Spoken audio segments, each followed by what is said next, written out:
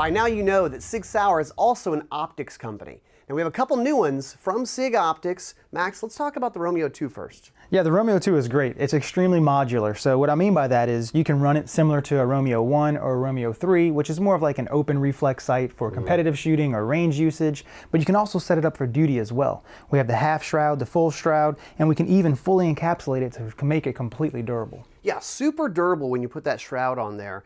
Now, what about mounting that? So this has the same footprint as the Romeo 1 Pro, so anything that's compatible with the Romeo 1 Pro as well as the SIG Pro Cut slides. Very cool. Now, the one I have is what I'd call a full-size red dot. This is the Romeo 8.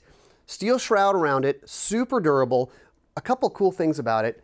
100,000 hours of battery life. That's a lot of battery life. 10 really plus is. years, whatever it might be. yeah, 10 years or so. Um, it has all the adjustments you'd have on a full-size red dot, which would be like adjusting the brightness, but also multiple reticles. So you've got the dot, you've got the dot with the circle. You even have an MOA with multiple dots for distant, different distances, which is really cool. SIG Optics, let's talk about that for a second. You guys are really bringing on these optics engineers to develop this stuff. Right. So I mean, we have the best of the best. I truly feel that our optics are amazing, and it's because of the people behind the optics, right? So everything is designed and developed right here in the U.S., and it's really what separates it from everything else. We're not just SIG putting our name on somebody else's optics. We are truly an optics company. Yeah.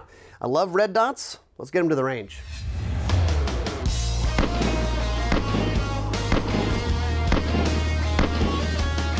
Max, two different flavors of red dots, the Romeo 8, the Romeo 2, but you've got a cool target. We're gonna run through some drills and kind of show how these optics work.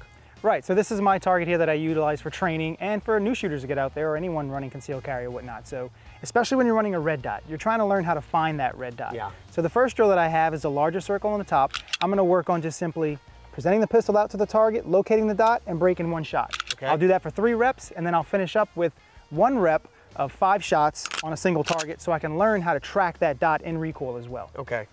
All right, so if you just give me a up command, I'll just go out and fire. Up. Up. Up. All right, and last one. Up.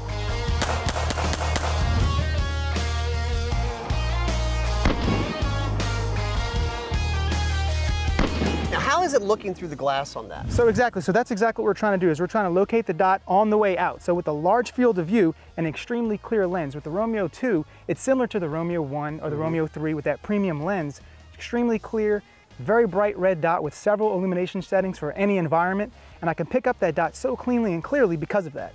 I noticed the same thing on the Romeo 8. Looking through it, it's very clear and I have a big field of view, which I like this. We're at five yards. We're close. We're close. We're yep. close. Now, what's the drill you have for me? So the next drill I have for you is what I call the X drill. So I want you to start, we're working all triangles here. So I have them set up on all corners of the target. Gotcha. You're gonna shoot bottom left, top right, top left, bottom right for one round each on the up command. All right. Ready? Ready. Up. Oh, offset.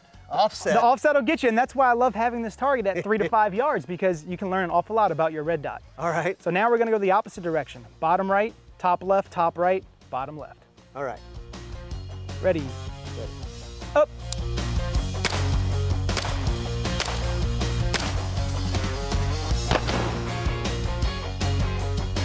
There we go. And just like that, after one drill, you realized, hey, I have a little bit of offset here, but by having that large field of view, how was it being able to locate those triangles? It was really easy. I was shooting both eyes open. Also, I switched it to the reticle with the big circle with the dot in the middle, which helped me just go a little faster. Yeah, the big circle kind of gets you there, and then the red dot, the small red dot kind of refines it. Very cool. Some drills for working your red dots with SIG Optics.